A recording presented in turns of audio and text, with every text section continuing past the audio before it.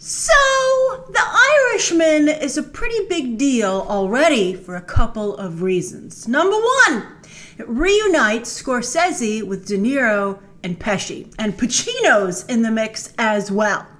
Number two, this huge movie, this big deal cinematic experience is a Netflix film. Arguably, I think the most high profile film uh, the streamer has gotten yet. Uh, and also, because it's a Netflix film, it's going to be hard for you to watch it in theaters because most theaters won't play this movie, uh, even though, again, it has such it has this pedigree. But the New York Film Festival will play it because it's going to be um, it's going to be the opening night movie where uh, I believe it will be making its debut. But reason number three is that this cost a pretty penny to Netflix, and Netflix was pretty much the only place willing to pay it. It's $125 million thanks to de aging technology. Uh, I don't think it costs Marvel that much, right? Uh, but to de age, their three stars so they can play the younger versions of themselves uh, in the film. Now, I find this ironic because Robert De Niro, his first really big movie, well, you know, after Mean Streets, uh, a Scorsese film, but then he did The Godfather Part 2 where of course he played a young Brando. But if this technology existed back then, Brando just could have played the role himself. So De Niro's kind of closing the door behind him for the next generation of actors. But let's let's take a look. Here we go. It sure looks pretty from that first frame, boy.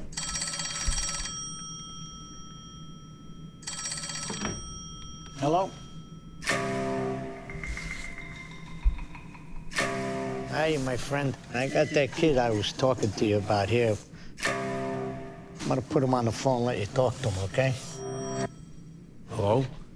Is that Frank? Yes. Hi, Frank. This is Jimmy Hoffa. Glad to meet you. Glad to meet you, too, even if it's over the phone. Our friend speaks very highly of you. Thank you. Only three people in the world have one of these. And only one of them is Irish. I heard you paint houses. Oh, I know what that means. I've seen enough movies. Yes, I do, sir. Where are you going? Going to work.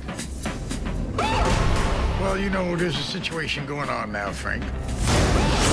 Big business and the government, they're trying to pull us down. You might be demonstrating a failure to show appreciation. I know things they don't know I know. You can't miss the big picture. Anna Paquin. Sooner or later, How'd she get in here? everybody put here as a date when he's gonna go. You want to be a part of this fight? Would you like to be a part of this history? Yes, I would. Is that younger De Niro? Whatever you need me to do, I'm available. Yes, I kind of think it is. It's very subtle. oh, yeah. He likes to talk, don't he?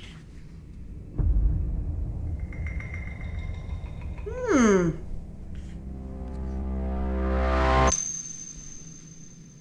Netflix is like, haha, we got it. This is our movie. Haha, in your face, everybody else.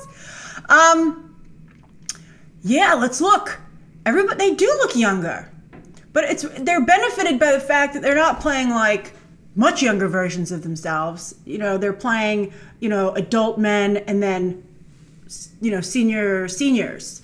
Um, it looks pretty convincing right there. I gotta tell you. I mean, but it's funny also because uh, they made the actors look like the actually look like themselves. Like when they de-aged Samuel L. Jackson for Captain Marvel, he didn't look like Samuel L. Jackson did when he was that age, like in Pulp Fiction and stuff. I mean, he had the same uh, build uh, that he does now. He just was like smoother.